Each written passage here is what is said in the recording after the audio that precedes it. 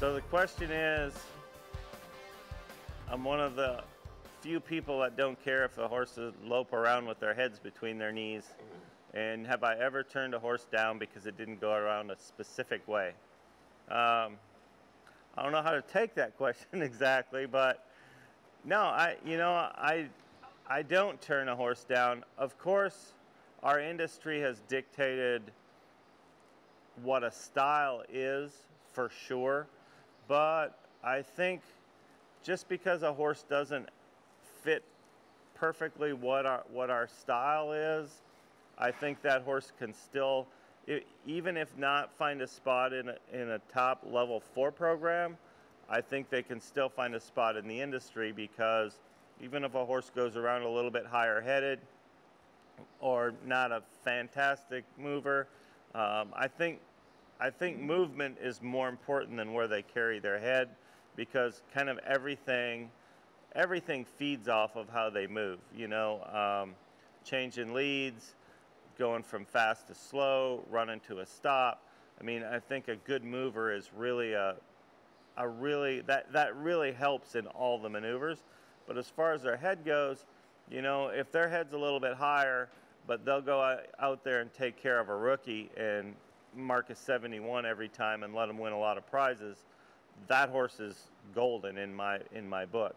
As far as my personal horses, um, you know, no, I don't spend all day pulling their head down between their legs. Yeah, I want them soft and I want them, you know, lower headed, uh, but you know, I want them to do the maneuvers and I want them to do the maneuvers comfortably and I don't want to take away from the horse or the maneuver trying to put them in a position that's not natural. And I think that I think that can happen a lot in our in our in our business. Watching, um, you know, some some people that are obsessed with having their heads real low. I think it can take away from some of your other maneuvers. And in the time that you can be taken to teach them to stop and turn and change leads and do all those things, I think you spend a lot of extra time doing stuff that's not necessarily necessary. So I had a mare a couple of years ago that got passed on by several people and um, I got I rode her and and saw her being ridden and loved her. I mean, she was fantastic minded and she went around, she just naturally was built to go around with her head a little bit higher, not offensive and not resistant, but that's just where it was.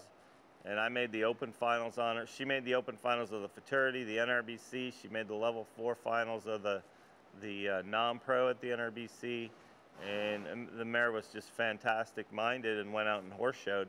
And the bottom line is, to me, is a horse's desire to want to go out and please.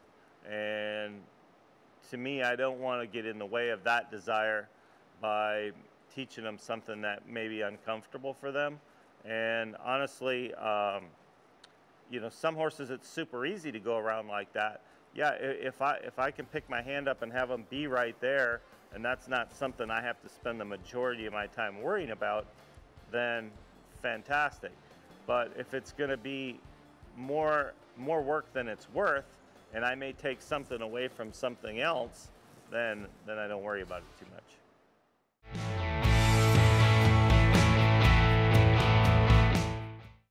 Smart Calm Ultra Pellets are a cost effective way to provide calming support for anxious or spooky horses.